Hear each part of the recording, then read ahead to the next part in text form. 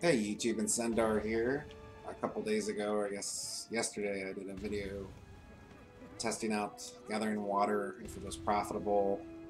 I found it could make some silver, not that great, but it did level up your gathering.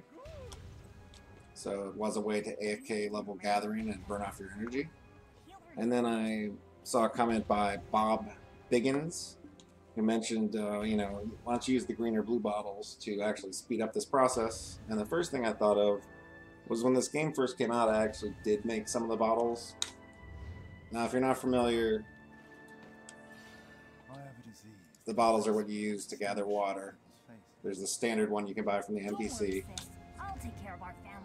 But you can actually uh, craft these too in any tool workshop.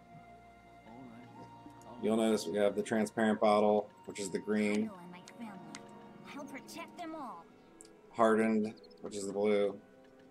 And shining, which is the yellow. Now what's interesting, these do cost a bit of uh, silver to make. I know the shining steel ones were about 2,000 each which is about how much you're going to get from each water. So this would totally fill your profit to use the yellow ones. Uh, the green and blue ones are a little cheaper, 3,400. So about, I don't know, 340 each for the green bottles. So you'd still actually make a profit using these. Let me just show you what this does. Okay, so before my last video, all I did was go up here, use the standard NPC bottle.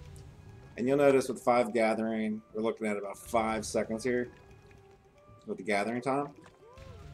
And it took me a little over an hour to do 700 bottles, I believe. So let's see what happens when I switch this to the green one.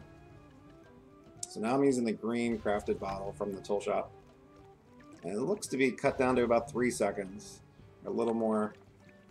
So yeah, this would actually speed up your gathering process. Um, since this is already AFK, it only takes about an hour for me to burn off my energy. I don't know how beneficial this would be, but I guess if you play a lot and you just want to you know, knock out your energy real quick and get some gathering experience, these bottles would definitely help.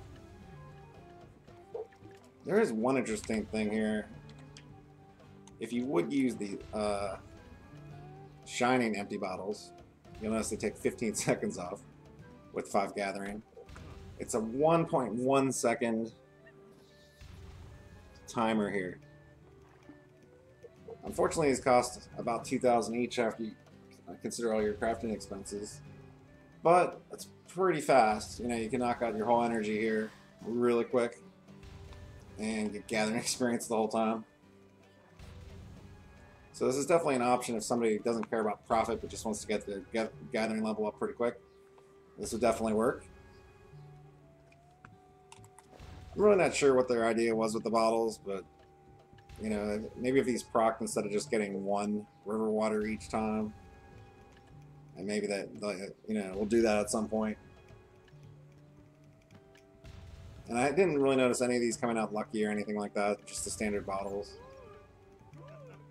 But I guess you know, this would be an alternative if you want to you know try something different. So 1.1 second gathering, and uh, thanks a lot for Bob Biggins for bringing that up I will be doing more Black Desert videos, so subscribe for that. And thanks for watching.